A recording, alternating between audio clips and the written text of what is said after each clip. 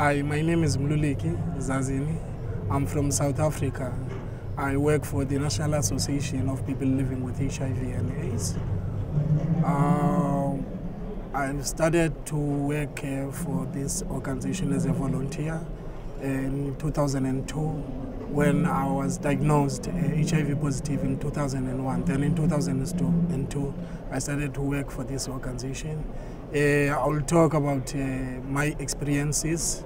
Uh, for the first uh, five years since then, uh, I was just taking a basic treatment uh, because by that time uh, antiretroviral drugs uh, were not uh, there for the, as an organization uh, in the country.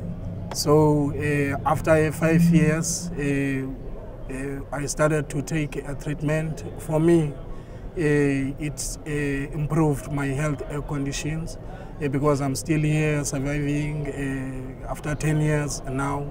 But what again I, I can say is that there is a need uh, to have a universal access to treatment so that we can make sure that it also reach the rural areas and uh, the, the, the, the ARV sites uh, must be close to our communities because some of them they are unemployed, they have no source of income.